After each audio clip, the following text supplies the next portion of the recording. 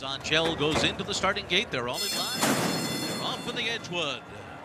Aunt Pearl broke very well and goes immediately to the early lead with Gift List away running in second. Zangel is third on the outside as they race by us for the first time.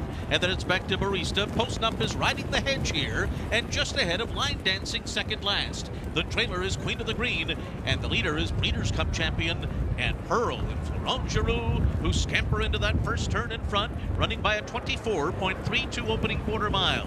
Zangel a length and a half behind, running in second. Gift List riding the hedge in third, two lengths clear of Barista in fourth. Post Up follows in fifth, five and a half from the front. To her outside, it's Line Dancing, and Queen of the Green trails seven lengths off of Aunt Pearl, who continues to lead the way up the backstretch by almost a length. Zangel and Luis Saez keeping the pressure on second. The half mile up the backstretch, 49.03. The pace has been easy for Aunt Pearl so far. Zangel trying to quicken it on the outside in second. Gift List is third. She's got two lengths to make up racing for the far turn.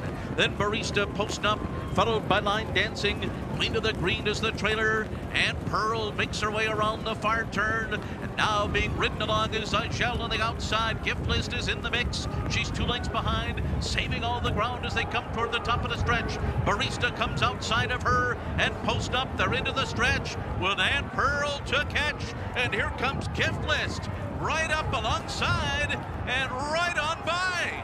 Aunt Pearl not going on today. Barista has moved up on the outside of Aunt Pearl. And then comes Line Dancing, but it is all, all Gift List. Javier Castellano and Gift List upset the Edgewood. They won it by about five lengths in the end.